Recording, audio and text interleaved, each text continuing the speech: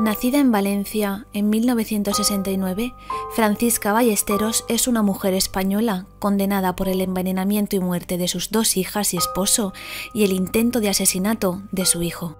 El caso de Francisca Ballesteros fue descubierto por un conocido del barrio donde residía cuando vio el estado agonizante en el que se encontraban sus dos hijos un día cuando éste se acercó a su casa. Este vecino decidió denunciar la situación a la policía debido a la gran cantidad de excusas de Francisca para que los menores no recibieran la asistencia médica.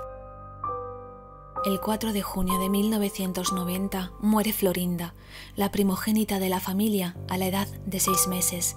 No se descubrió este asesinato hasta que declaró su madre en 2004, después de haber sido detenida el 6 de octubre de 2003 ingresa en la UBI del Hospital Comarcal de Melilla Antonio, el marido de Francisca, y el 12 de enero de 2004 fallecía por un fallo multiorgánico debido a una intoxicación.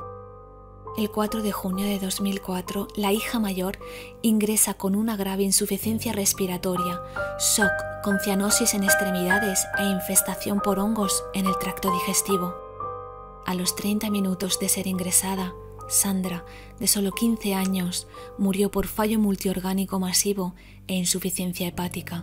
El 5 de junio de 2004, el menor de la familia ingresaba con los mismos síntomas de su hermana, pero menos graves. Se encontraron restos de diversas benzodiazepinas e inductores del sueño en las analíticas del pequeño de 12 años.